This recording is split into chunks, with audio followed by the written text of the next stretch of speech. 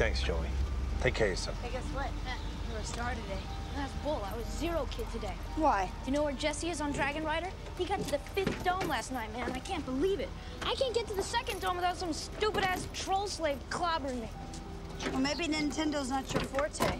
Mom, it's not Nintendo. It's Sega. Maybe you should focus on something else, like your homework. Oliver? Math. Now.